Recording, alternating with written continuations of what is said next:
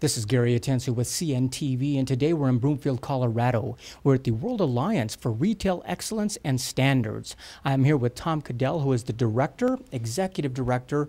Basically, for over 17 years, you guys have been performing over $3 billion in the services annually. Let me ask you, when you first started out back in 95, 96, what were they hoping to achieve, and tell me what was going on back then? Well, the visionaries, their hope was to be able to have an association that brought value to the industry across all channels. So whether it was grocery, whether it's convenience, apparel, uh, sporting goods, whatever it may be, that was the goal, to bring a group together and, and really try to nurture each other, network together, share good practices, research, all along those lines. So we're talking about a total collaboration upon all facets of the retail service industry. Correct, correct. Yes, it was all on those lines. Wonderful. One of the things, obviously, anybody who's part of the, as a membership here, um, everyone benefits. Why don't we start a little specifically as a manufacturer? What type of benefits are they going to receive being part of your network? Well, the manufacturers are usually um, one level below actual decision maker. The decision maker really is the retailer. The retailer mandates programs that happen in a store. The manufacturer would be a part of that decision making process because it's up to them to find a resource, whether it's internal, external, or a hybrid approach. So they're really the, the end of where the actual payment would come from, but they still have to adhere to the mandates coming from the retailer. So from a manufacturer point of view, they want to find the best. They want to find the most professional service. They want to make sure that that's a partner that protects their brand as a retailer out there, what are some of the services, and maybe touch on just one of the popular services that you offer for them? Well, that's a that's a hard question because we are a very diverse membership, and and you know, most of the services out there in today's economies, they do a little of everything. Mm-hmm. In most cases, originally they started 17 years ago as maybe an event marketing company that did, you know, robust marketing efforts. That's evolved into merchandising event marketing, professional install. So they've all kind of merged together in some capacity. There are some groups that still have really one channel that they work in or one division of work processes they handle through that you know program.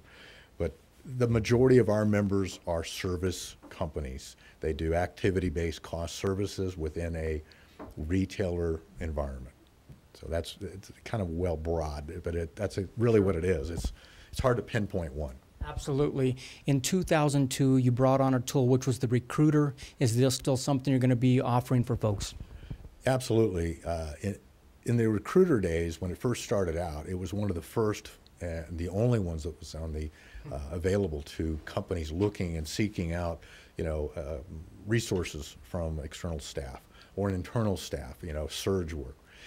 It, it evolved, and in today, here we are with so many other platforms out there from Indeed, uh, you know, uh, Snagajob. I mean, there is a plethora of them out there. Every company has their own internal job site, you know, recruitment site. They've got directors of recruitment internally. That position never really was there before. It was always HR. HR didn't understand retail. So now they've brought somebody in to kind of help be that uh, point of contact for the day-to-day execution. It used to be an operational person. Operation doesn't understand HR, so they've really changed that and, and built another role there. So most of our recruitment now today is going forward. What does success look like three years from now? So we're designing this program to be not only relevant today, but to be relevant three years from now and to keep it relevant ongoing. So that's that's where we're heading right now. So you're really speaking the language of the industry now um, between the collaboration of everyone. Does this work in conjunction with the job bank as well? It does. It does. It, it certainly does. I mean, uh, that's the whole benefits. Well, I shouldn't say the whole benefit. It's yeah. it's a piece of the benefits. You know, the benefits to an association like this as a nonprofit are various. We're like a we're like a target in the middle, and there are points coming in every member has a use. Every member might have a point of difference of where they use it. So again, it's not one for all. Basically, be it uh, the retailer, the wholesaler, the jobber, um, everyone involved really benefits from this. But I see it as being the, the consumer in the end is served better. Absolutely. Absolutely. The consumer is the ultimate goal. Nothing happens in, in retail world unless a case is sold. I mean, you and I are consumers. We certainly look at products, and we try today to evaluate those. Of course, the technology there today with the codes and everything else to sit there and scan it and see where it's cheaper. I mean, showrooming, everything has changed dramatically. But the computer won't replace that consumer. You and I are a consumer, and we're an impulse consumer. So it's important that that retailer has that product there in front of them at the right price at the right time. We execute those programs in a lot of cases. Some are done ex- internally. So we try to be that external resource to get it done and keep it on the shelf so their associates can sell. You have to be very versatile in your approach, I imagine, because you're talking about non-food products as well as food products that you provide. All product lines. Uh, it, it crosses again every channel. I mean, natural products is such a growing industry, and here we are in Colorado as a hub. You know, my background is, is coming from that area. That is a huge niche market that people really have to take a peek at. The old days, everybody looked at conventional grocery, and that was it. And they would look a little bit in apparel, maybe a little bit in, in uh, convenience and sporting goods, but it's not as diverse as it is. Natural is touching more points of channels than you ever thought before. 60% of the sales in natural organic are going through conventional stores, but si- probably less than 60% sales of food sales are coming through conventional. They're coming through alternative channels. So your dollar stores, your convenience stores, your drug stores, they're all picking up a piece. So we have to be very diverse in our menu of services. And it's really not difficult to operate in a retailer channel, whether it's drug, food. You have to understand what the rules of engagement are. We, as an association, our goal is to make, make sure that we're front and center, or the cutting edge for retailers, manufacturers, and the service companies to come together in a shared experience to make sure that we're giving the consumer the end result, which is product on the shelf at the right price, right time. At, at what stage of the game would you like to see people partner up with you? Is this early on or is this after they've experienced some challenges? You know, it, it again, it goes to that very, very program. We've got members and we've got members potentially sitting out there that aren't even aware this service is here. This association has been around 17 years. Unfortunately, the name NARMS, which was previously there, had an association in probably the first four or five years. And once technology took it, it didn't have a brand platform. No one understood it outside the membership of who we are, what we are, what we did. So that's why we certainly had to change things to become more professional and really start to bring these services out to a broader audience, not only nationally, but internationally. And so we're getting a lot more exposure through a lot of the trade media pieces that we're doing. Like I say, we, we came out to see here because 2013 is a year that's going to go down in the books for you all. It was a year for rebranding, but it's more than changing the name. It's really redefining uh, the evolution and progress of your company here. It really is. The members, they own this association. It's not a company as in a traditional company. They have a piece of this because they invest in this. So it's in their best interest under a shared platform to be the end result for everyone, not just specific to themselves like maybe 15 years ago. Now it's, it's a broader piece. Today, you may go to one event and think, well, that's what I do today. Well, tomorrow, here comes an opportunity because of the technology.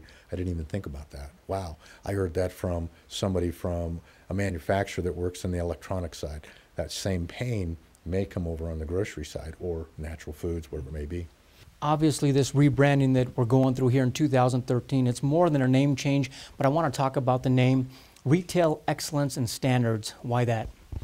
Well that name came about really with a lot of thought leadership and focus groups. Uh, rhonda bauer which is our senior director she spent a lot of time in researching you know who we were before. It was first to know who you were before you can discover where you need to go. And so during that process we discovered that our name wasn't really relevant in an industry that we should be. So secondly, it became really simple by looking at what the, associ- the association needed to be, not necessarily our members, because our companies are different. Sure. It's what the association. You're a part of the association, what it stands for, not what you do internally yourself.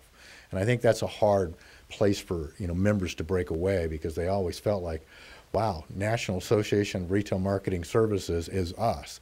No, it really isn't. So that's what we really tried to do is strategically look at where we are and where we needed to go and how does this name equate to professionalism. So this was really a forward-thinking move on the part of the company, showing that you, as well as your members, are ready for the future, whatever changes may come. And I imagine retail is always changing. Absolutely. Uh, there isn't a retailer that, in my opinion, in my retailer background, you will never ever back them into a corner. So therefore, you don't want to. You want to be a solution. You want to be it proactively. Being reactive in any industry puts you behind. So for us as an association, we have to be proactive and we have to have what I would suggest is senior level thought leadership. Our board is very robust in that. We've got a key committees working in recruitment, accreditation, which is our certification program. Uh, we've got committees over the service entities. We've got service members that offer insurance or software programs to our members and to our retailers. So it's a very diverse membership, but they all have a piece of it and they all have to take ownership and the members take ownership. Folks, take a look at the bottom of the screen right there. What you're going to see is the website information for the World Alliance for Retail Excellence and Standards. You're going to see their contact information there as well. On the website, um, you can take a look at some of the uh, certification program they have there as well. They have many, many tabs full of resources that will help you decide whether if you want to join this membership and really gain a lot of the benefits they have as well. Remember, retail is evolving and World Alliance has the answers to ageless challenges. This is Gary Atencio with CNTV, and if you don't know, now you know.